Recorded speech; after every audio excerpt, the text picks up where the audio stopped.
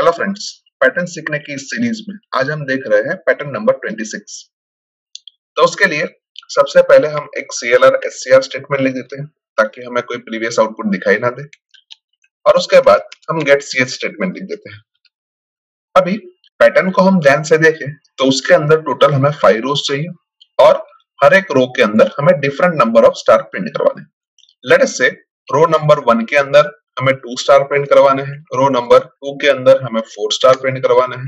रो number three के अंदर हमें सिक्स स्टार प्रिंट करवाने हैं।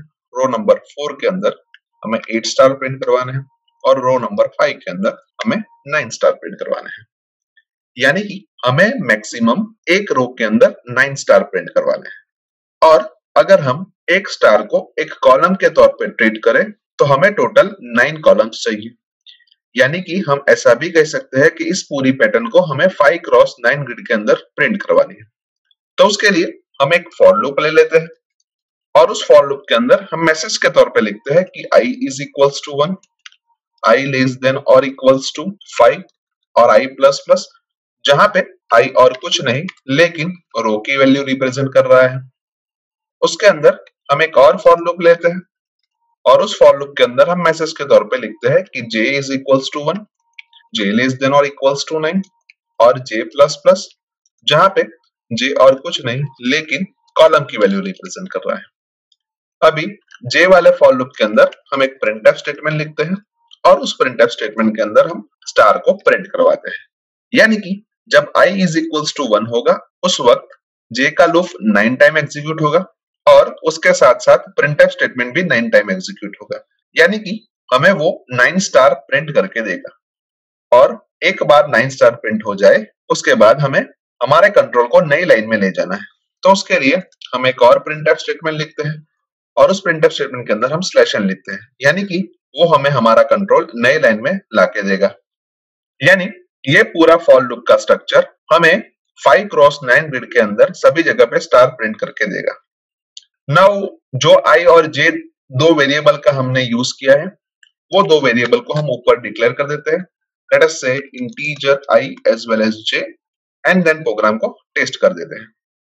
तो हमें फाइव क्रॉस नाइन ग्रिड के अंदर सभी जगह पे स्टार प्रिंट होके मिल रहे हैं, जो कि परफेक्टली सही है। पर हमें कुछ जगह पे स्टार की बदले स्पेस प्रिंट करवानी है तो उसके लिए हमें पैटर्न को फिर से एक बार एनालाइज करना पड़ेगा। सो अभी हमने देखा कि रो की वैल्यू हम आई से रिप्रेजेंट कर रहे हैं और कॉलम की वैल्यू हम जे से रिप्रेजेंट कर रहे हैं। और हर एक रो को हम ध्यान से देखें तो उसकी कुछ जे की वैल्यू के लिए हमें स्पेस प्रिंट करवानी है और कुछ जे की वैल्यू के लिए हमें स्टार प्रिंट करवाना है। तो हम चेक कर लेते हैं कि कौन सी जे की वैल्यू के लिए हमें स्पेस प्रिंट करवानी है और कौन सी जे की वैल्यू के लिए हमें स्टार प्रिंट करवाना है। तो जब i इक्वल्स टू वन होता है, उस वक्त j की वैल्यू वन एंड नाइन के लिए हमें स्टार प्रिंट करवाना है अदरवाइज़ हमें स्पेस प्रिंट करवानी है। जब I is equal to two होता है, उस वक्त जे की value one two eight and nine के लिए हमें स्टार प्रिंट करवाना है अदरवाइज़ हमें स्पेस प्रिंट करवानी है। आई की वैल्यू थ्री हो, उस वक्त जे की value one two three seven eight और नाइन के लिए हमें स्टार प्रिंट करवाना है अदरवाइज़ हमें स्पेस प्रिंट करवानी है। I की वैल्यू फोर हो, उस वक्त j की value one two three four six seven eight और नाइन के लिए हमें स्टार प्रिंट करवाना है अदरवाइज़ हमें स्पेस प्रिंट करवानी है।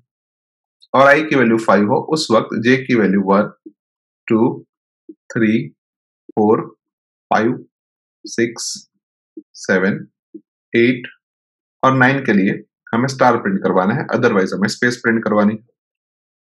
यानी कि i is equal to one के लिए हम ऐसा कह सकते हैं कि जब j की वैल्यू वन या वन से कम हो एज वेल एज नाइन या नाइन से ज़्यादा हो, उस वक्त हमें स्टार प्रिंट करवाना है अदरवाइज़ हमें स्पेस प्रिंट करवानी है। जब i की वैल्यू टू हो, उस वक्त j की वैल्यू टू या टू से कम हो एज वेल एज एट या एट से ज़्यादा हो, उस वक्त हमें स्टार प्रिंट करवानी है अदरवाइज़ हमें स्पेस प्रिंट करवानी है। आई की वैल्यू थ्री हो, उस वक्त जे की वैल्यू तीन या तीन से छोटी हो, या फिर सेवन और सेवन से ज़्यादा हो, उस वक्त हमें स्टार प्रिंट करवाना है अदरवाइज़ हमें स्पेस प्रिंट करवानी है। जब आई की वैल्यू फोर हो, उस वक्त जे की वैल्यू फोर या फोर से छोटी हो, या फिर सिक्स या सिक्स से ज़्यादा हो, उस वक्त हमें स्टार प्रिंट करवाना है अदरवाइज़ हमें स्पेस प्रिंट करवानी है। और जब आई की वैल्यू फाइव हो, उस वक्त हमें सभी जे की वैल्यू के लिए हमें स्टार प्रिंट करवानी है अदरवाइज़ हमें स्पेस प्रिंट करवानी है। तो i is equals to five के लिए भी हम ऊपर जैसा लिखे तो हम कुछ ऐसा लिख सकते हैं कि जे लेस देन और इक्वल्स टू फाइव या फिर जे ग्रेटर देन और इक्वल्स टू फाइव हो, तब हमें स्टार प्रिंट करवानी है अदरवाइज़ हमें स्पेस प्रिंट करवाना है। यानी इन पाँचों स्टेटमेंट को अगर हम कॉमनली लिखना चाहे तो हम कुछ ऐसा लिख सकते हैं कि जे लेस देन और इक्वल्स टू एक्स और j greater than equals to y अभी x की वैल्यू हम ध्यान से देखें तो जब i की वैल्यू बढ़ती है उस वक्त x की वैल्यू में हमेशा इंक्रीमेंट होता है और y की वैल्यू में हमेशा डिक्रीमेंट होता है। सो so, अभी हम फिर से एक बार x और y की वैल्यू को एनालाइज करें। तो जब i की वैल्यू वन होती है उस वक्त x की वैल्यू वन एंड वाई की वैल्यू नाइन होती है आई की वैल्यू टू होती है उस वक्त एक्स की वैल्यू में इंक्रीमेंट होता है यानी कि टू होती है और वाई की वैल्यू में डिक्रीमेंट होता है यानी कि एट होती है आई इक्वल्स टू थ्री के लिए एक्स की वैल्यू थ्री एंड वाई की वैल्यू सेवन होती है i is equals to four के लिए एक्स की वैल्यू फोर एंड वाई की वैल्यू सिक्स होती है और आई इक्वल्स टू फाइव के लिए एक्स की वैल्यू फाइव और वाई की वैल्यू फाइव होती है यानी अभी हम एक्स की वैल्यू को ध्यान से देखें तो जब x की वैल्यू वन होती है उस वक्त i की वैल्यू भी वन है x की वैल्यू टू होती है उस वक्त i की वैल्यू भी टू है x की वैल्यू थ्री होती है उस वक्त i की वैल्यू थ्री है x की वैल्यू फोर होती है उस वक्त i की वैल्यू फोर है और x की वैल्यू फाइव होती है उस वक्त i की वैल्यू फाइव है यानी कि i और x की वैल्यू हमेशा इक्विवेलेंट होती है यानी अभी जो हमने इक्वेशन फाइंड किया उस इक्वेशन के अंदर हम j लेस देन और इक्वल्स टू x की जगह पे j लेस देन और इक्वल्स टू i लिखे तो भी हमारा प्रोग्रामिंग लॉजिक परफेक्टली वैलिड है। अभी हम i और y का एडिशन करें तो फ़र्स्ट केस में वन प्लस नाइन टेन होता है। सेकेंड केस में टू प्लस एट टेन होता है। थर्ड केस में थ्री प्लस सेवन टेन होता है। फोर्थ केस में फोर प्लस सिक्स टेन होता है। और फिफ्थ केस में फाइव प्लस फाइव टेन होता है। यानी कि हम ऐसा कह सकते हैं कि आई और y का एडिशन हमेशा टेन होता है। और अगर उसके ऊपर से हम y की वैल्यू को डिराइव करें तो y की वैल्यू हमेशा टेन माइनस आई होती है। यानी अभी जो इक्वेशन लिखा, उसके अंदर हम y की वैल्यू को पुट अप करें तो हम कुछ ऐसा लिख सकते हैं कि j ग्रेटर देन और equals to ten minus i. अभी हमने दो फॉर लूप लिखे थे, जिसमें से पहला फॉर लूप आई यानी कि रो के लिए था और दूसरा फॉर लूप जे यानी कि कॉलम के लिए था। और दूसरे फॉर लूप के अंदर हमने एक प्रिंट स्टेटमेंट लिखा था, जिस प्रिंट स्टेटमेंट के अंदर हमने स्टार को प्रिंट करवाया था। यानी ये पूरा स्ट्रक्चर हमें फाइव क्रॉस नाइन ग्रेड के अंदर स्टार प्रिंट करके दे रहा था। लेकिन अभी हमने एक कंडीशन आइडेंटिफाई की और वो कंडीशन जब सही होती है, उस वक्त ही हमें स्टार को प्रिंट करवाना है अदरवाइज़ हमें स्पेस को प्रिंट करवाना है।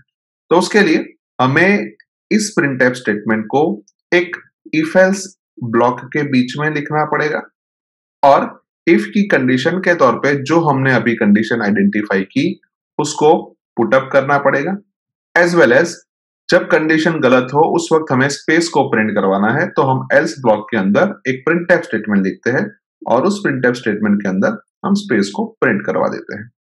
यानी इतना लॉजिक लिखने के बाद हमें हमारे डिज़ायर पैटर्न मिल सकती है। तो लेटस से उसको भी हम एक बार प्रोग्राम के अंदर चेक कर लेते हैं।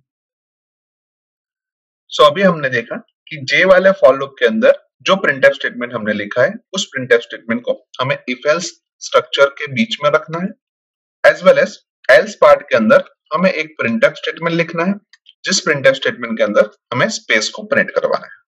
उसके अलावा इफ़ के अंदर हमें कंडीशन के तौर पे लिखना है कि जे लेस देन और इक्वल्स टू आई और जे ग्रेटर देन और equals to ten minus i and फिर प्रोग्राम को एक बार टेस्ट करना है।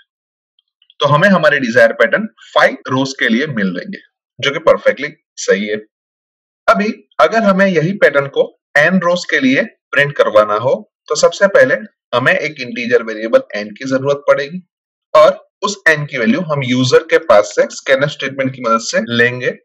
तो उसके लिए स्कैनर स्टेटमेंट के अंदर हमें लिखना पड़ेगा कि percentage d address of n और स्कैनएफ के ऊपर हम एक प्रिंटफ स्टेटमेंट लिखेंगे और उस प्रिंटफ स्टेटमेंट के अंदर हम मैसेज के तौर पे लिखेंगे कि एंटर एन अभी जो दोनों फॉर लूप हमने यहाँ पे लिखे हैं वो दोनों फॉर लूप फाइव रोज के हिसाब से लिखे हैं।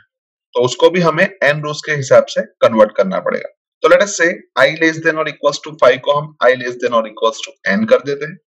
j लेस देन और इक्वल्स टू 9 को हम j लेस देन और equals to 2 into five minus one भी लिख सकते हैं। और फाइव को हमें एन में कन्वर्ट करना है। यानी कि अब हमारी कंडीशन j लेस देन और equals to 2 into n minus one हो गई। उसके बाद जो इफ़ वाला स्टेटमेंट है, उसके अंदर जे ग्रेटर देन और इक्वल्स टू 10 माइनस आई की जगह पे जे ग्रेटर देन और equals to 2 into five minus i कर सकते हैं। और फाइव को हमें एन में कन्वर्ट करना है तो उसके लिए हम लिखेंगे कि j ग्रेटर देन और equals to 2 into n minus i and फिर प्रोग्राम को एक बार टेस्ट कर देंगे। जहाँ पे मैं एन की वैल्यू फाइव इंसर्ट कर रहा हूँ तो हमें हमारी डिज़ायर पैटर्न फाइव रोज के लिए मिल रही है, जो कि परफेक्टली सही है। एक और बार प्रोग्राम को रन करते हैं, जहाँ पे मैं n की वैल्यू 18 इंसर्ट कर रहा हूँ तो हमें हमारी डिज़ायर पैटर्न 18 रोज के लिए मिल रही है, जो कि परफेक्टली सही है। यानी कि हम ऐसा कह सकते हैं कि इस प्रोग्राम के थ्रू हम पैटर्न नंबर 26 को एन रोज के लिए इजीली प्रिंट करवा सकते हैं। सो आई होप कि आपको इस प्रोग्राम के अंदर अच्छी तरीके से समझ आ चुकी होगी। आज के वीडियो में बस इतना ही नेक्स्ट वीडियो में फिर से मिलेंगे। Thank you very much